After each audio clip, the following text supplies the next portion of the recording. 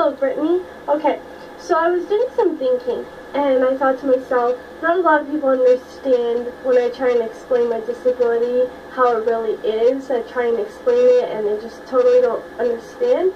So I was like, hmm, I would really like Brittany to understand more about my disability or whatever. So I actually wanted to do this video so I could do show you a little bit of me walking.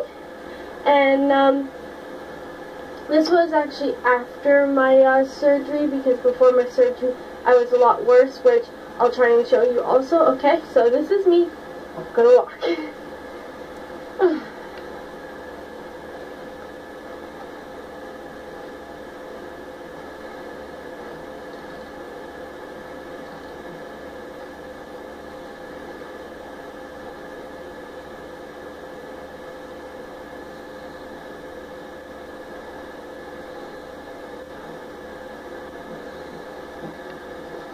that is how I walk.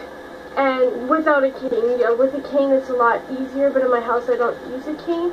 And um, if I fi find that I'm losing balance or whatever, I'll put my hands on walls so that um, I don't lose my balance and fall. But um, when I was younger, I don't know how far I got it back up. When I was younger, I couldn't even uh, my legs. My legs were like this. This is as straight as my legs could go. And then my, don't think I could do it now, but my knees would go all the way inwards. And my toes, when I walked, I'd be like stepping on my tippy toes like a ballerina. And then I'd drag the sides of my toes on the ground. So that's how I used to walk. And I'm going to actually show you my feet. I don't know if you could see my but when I walk, I don't know if you'll be able to see, but